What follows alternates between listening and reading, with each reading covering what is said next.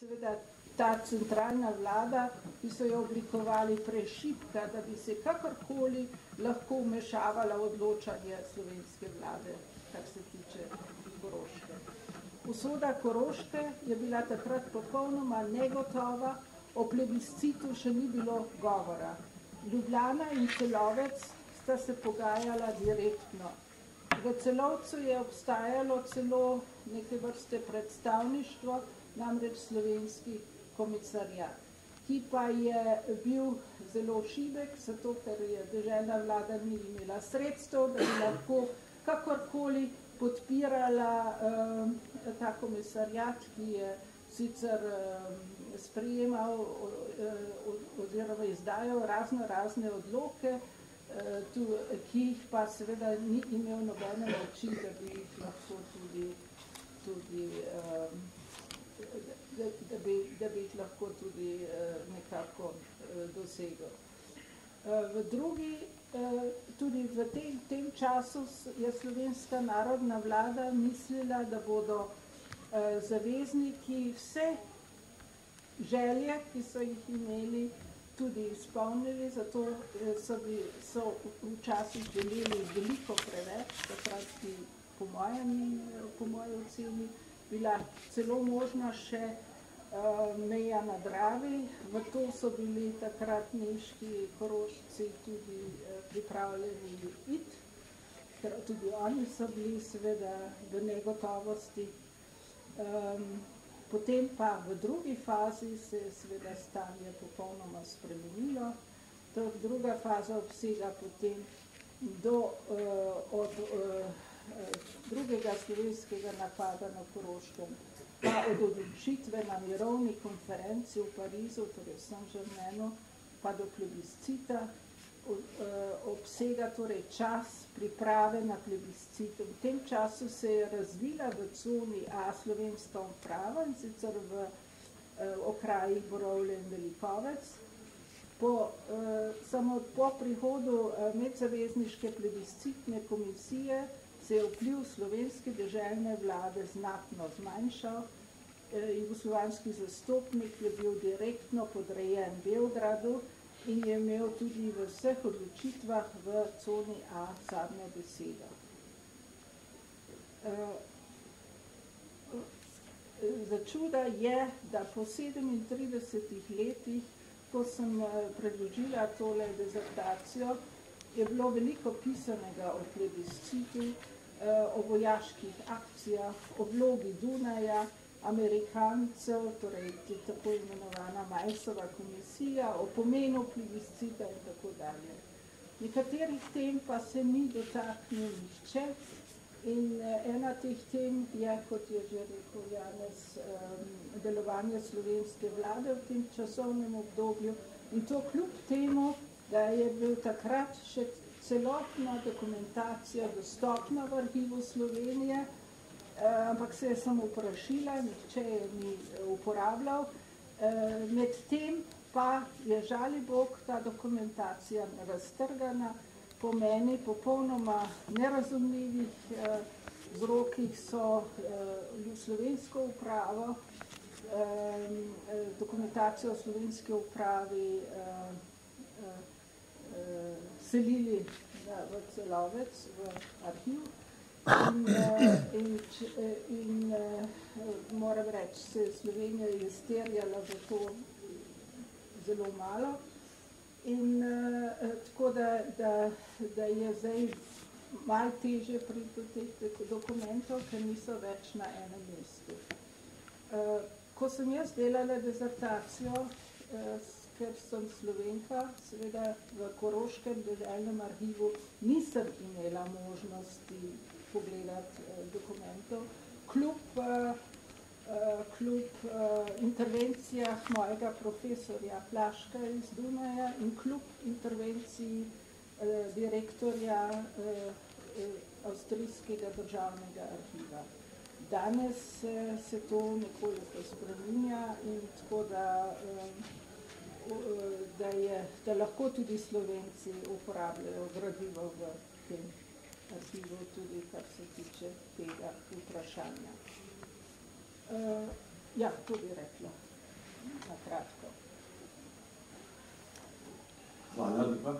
Še vedno velja istorija magistra ITS, neki teh povzetkov oziroma naukov si na začetku tudi povzela, lahko vas samo ponovno povabim, da knjigo preberete, preberete, ker se deloma res bere napeto kriminalka. Tisti časi so bili napeti in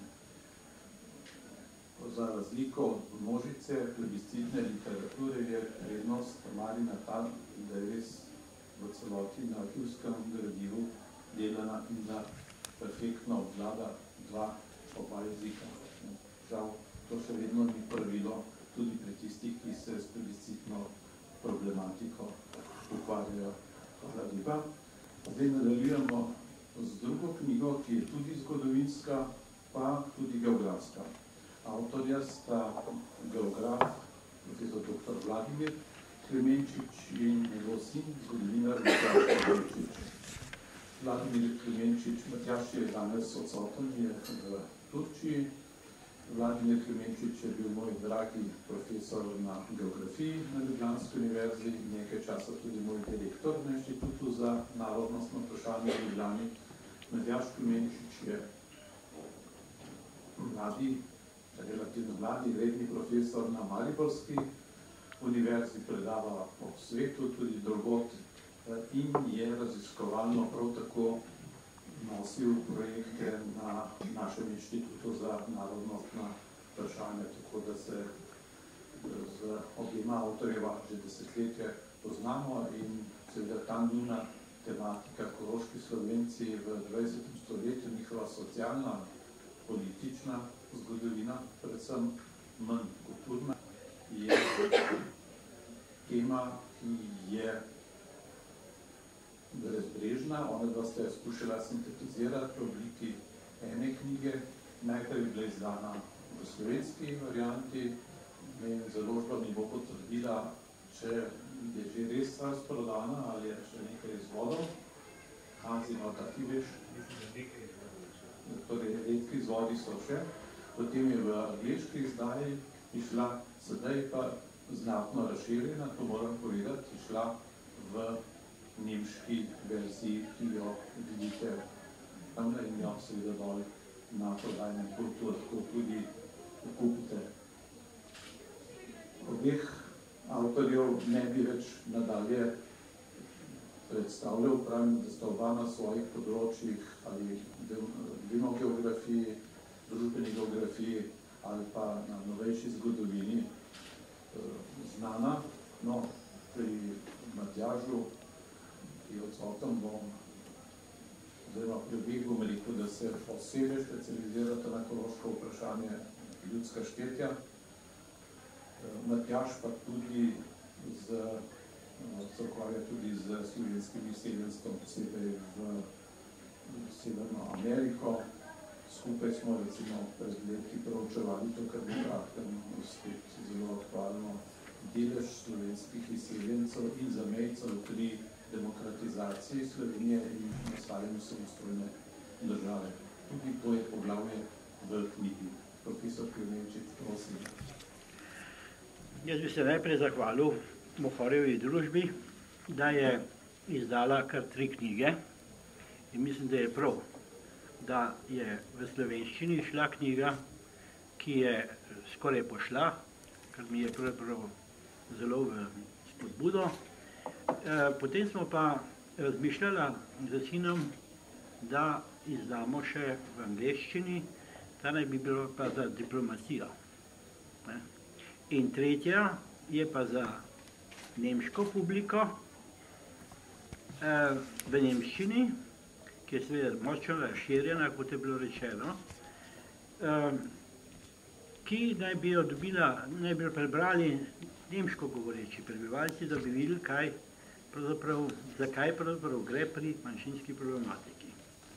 To je eno. Drugo, eh, to delo eh, je pravzaprav rezultat 60-letnega eh, opazovanja.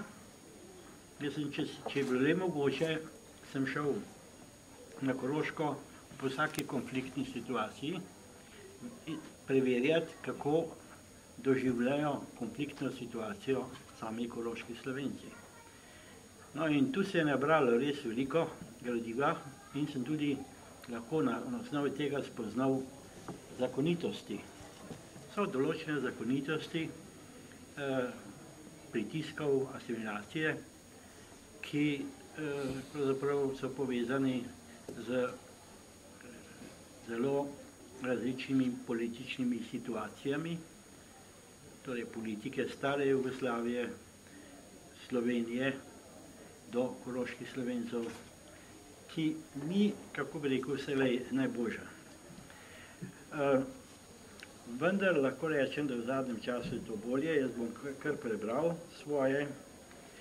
Uh, a ja, še to bi rad povedal, da sem lahko posegel v preteklost, pa tudi sin je lahko posegel v preteklost, zaradi tega, ker je eh, bila žena moja, je Korošica, ki je živela v družini, ki je doživela vse, kar je mogoče, vse mogoče asimilacijske pritiske in vse konflikte, ki se jih da doživeti v nekem določeni situaciji.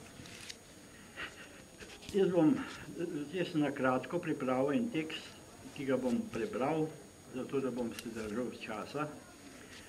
Torej, ena od osnovnih značilnosti zgodovine koloških slovencev so asimilacijski pritiski proti slovencev nastrojenih organizacij, ki so bili vselej plod podpore državnih oblasti, tako v času Avstro-Ogrske, kot tudi avstrijskih oblasti med prvo in drugo svetovno vojno, nacističnih oblasti med, med letoma 38-45 in žal tudi avstrijskih oblasti po drugi svetovni vojni.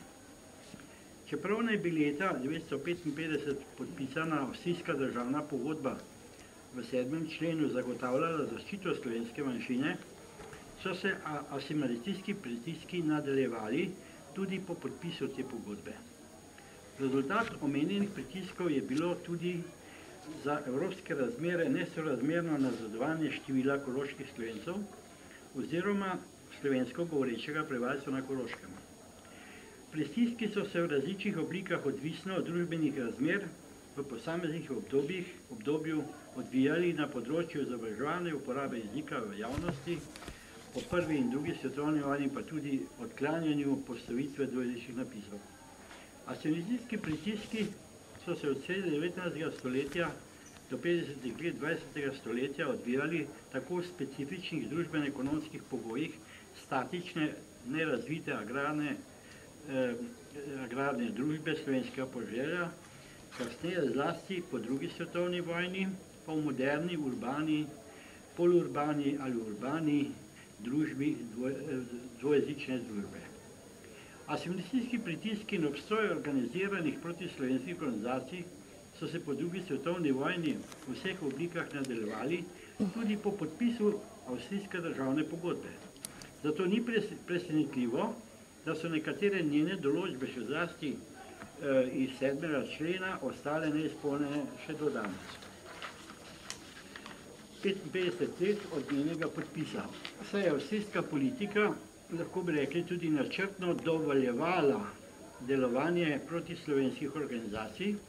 Tako se je avstrijska država ob zahtevah koloških slovencev po izpeljevanju določb 7. člena avstrijske državne pogodbe sklicovala na mnenje proti slovenskih organizacij, ko so se več čas prizadevali omejiti ozemlje veljavnosti manjšinske zaščite po 7. členu avstrijske državne pogodbe.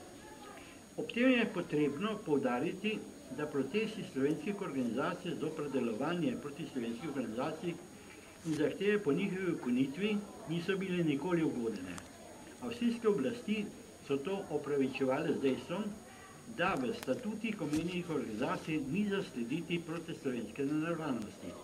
Čeprav je to vse do, pod, do podpisa avstrijske državne, podpisa državne pogodbe do danes mogoče zaznati v njihovem načinu delovanja, ki ima vse znake kršanja sedmega člena avstrijske državne pogodbe.